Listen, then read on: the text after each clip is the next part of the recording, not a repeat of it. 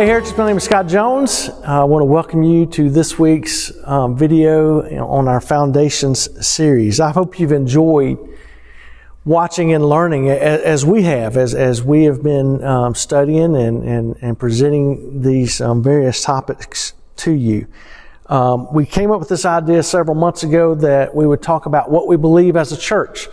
It would be our foundations because we need to have a firm and solid foundation. We need to know what we believe as Christians. We went through many doctrines and uh, we went through our core values as a church and now we're just taking time to, to go over some more of um, essential doctrines and look at some of the 25 articles of religion.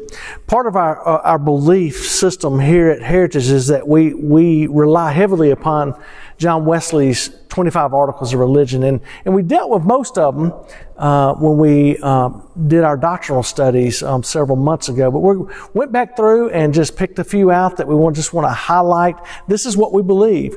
Um, these articles of religion John Wesley wrote um, years ago and and every Methodist church today uh, relies heavily on the articles of religion. Today, what I'm going to look at is Article 5. And Article 5 is titled Of Sufficiency of the Holy Scriptures for Salvation. I'm just going to read it to you. It's just a few sentences here and just um, share some scripture with you.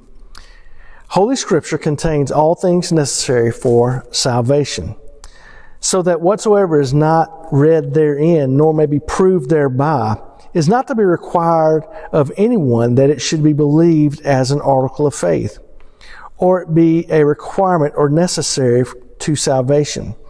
In the name of the Holy Scripture, we do understand those books of the Old Testament and New Testament of whose authority was never in any doubt in the church.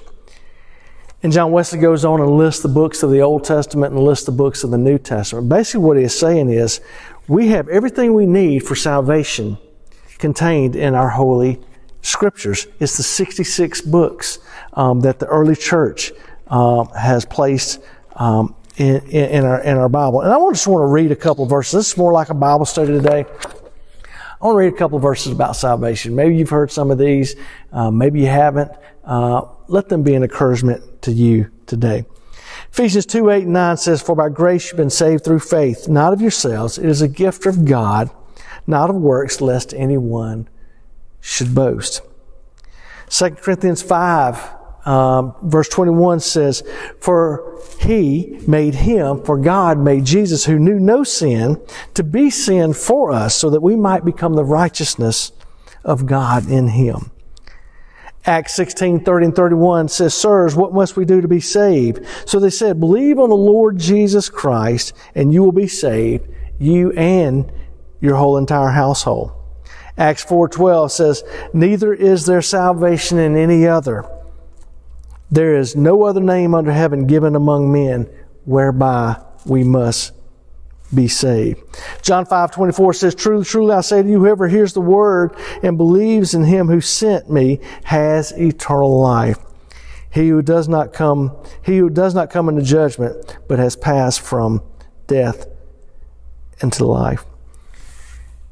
Revelation 3:20 Jesus says, "Behold, I stand at the door and knock. If anyone hears my voice and opens the door, I will come in and eat with him."